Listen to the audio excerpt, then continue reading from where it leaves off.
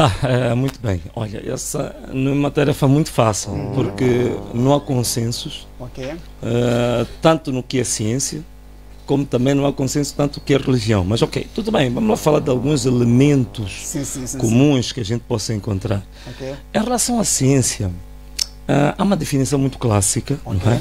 do que é ciência, quer dizer, ciência, ela na verdade, ela pode ser identificada pelo método. Na verdade, é um conjunto de conhecimentos. Ou é uma, é uma metodologia de, de chegar-se ao conhecimento. Okay.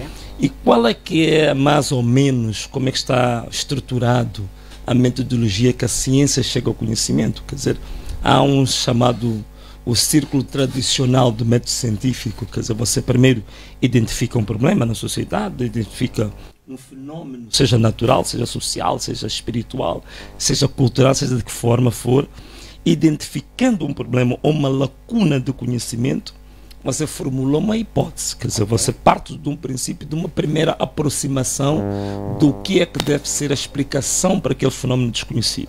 Depois disso vai-se a questão da verificação.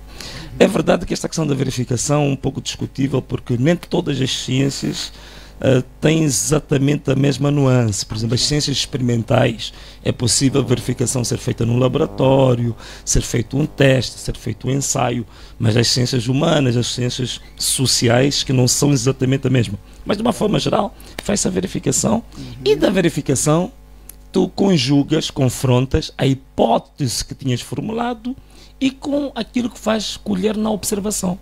E aí formulas uma conclusão e dessa conclusão depois se comunica o que é a nova abordagem. Atenção, que também é sempre uma abordagem provisória, uhum. porque há de surgir naturalmente depois de um tempo uma nova interrogação que vai obrigar a este ciclo. Portanto, é um ciclo em termos simples, de busca de conhecimento em que envolve sempre a observação, okay. que envolve sempre uma conclusão e que ciclicamente se renova. A religião, bom, religião em termos sintéticos, vamos dizer assim, um conjunto de princípios, não é? um conjunto de práticas ok? Inclusive princípios, um conjunto de práticas, até podemos dizer também um conjunto de doutrinas também, uhum. que formam um determinado corpo e que interligam com o sobrenatural, que nos interligam com o espiritual, que nos interligam com o campo da transcendência. Portanto, penso que em linhas gerais, podemos dizer assim, não são definições estanques, como sabes, não, uhum. são, não há consenso, mas eu penso que em termos gerais é mais